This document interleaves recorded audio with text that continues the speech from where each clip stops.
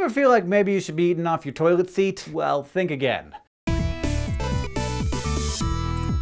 Our brains are programmed to understand the macroscopic world of macroscopic threats, and poop seems like a pretty big one. You get a bit of it in your mouth or in your eye, and you could be in for some serious unpleasantness. So we tend to be quite diligent when it comes to disinfecting our toilets, even though, like, we don't tend to lick them very often. Toilet seats are designed to be resistant to bacteria and easy to clean, making them one of the cleanest places in your home. In fact, you'd probably be better off cutting your veggies on it than the average cutting board. This, according to research done across the world by Dr. Chuck Gerba, professor of microbiology at the University of Arizona, who studies how diseases are passed through the environment. So get ready to microwave everything in your kitchen. The average cutting board has 200 times more fecal bacteria than your toilet seat. The average dish towel has 20,000 times more fecal bacteria. The average sponge 200,000 times more! It's not just that we don't think of these things as dirty since they sit in clean areas, and in fact are supposed to clean things.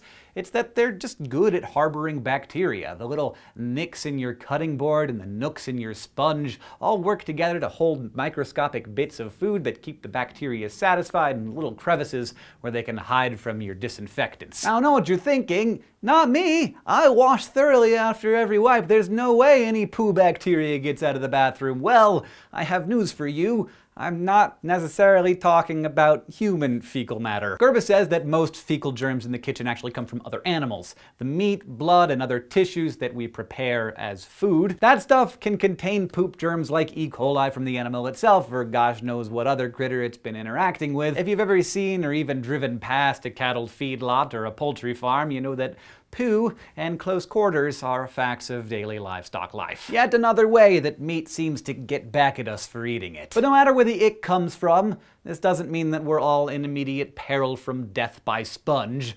Rather, it says more about how extremely unnaturally clean our toilet seats are. Still, According to a 2007 study, you can safe up your sponges by getting them a little bit wet and then microwaving them for two minutes, killing the majority of the bacteria and it will keep it smelling fresh. And what all of this really highlights for me is that we have extremely sophisticated ways of detecting bacteria, and that's good for the world.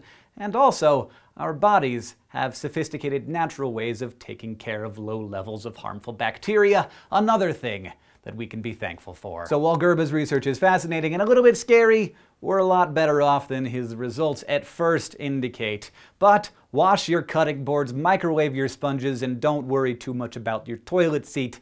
It's probably fine just the way it is. Thanks for watching this SciShow Dose. If you have any questions or comments or ideas for us, we're down in the comments, and of course on Facebook and Twitter.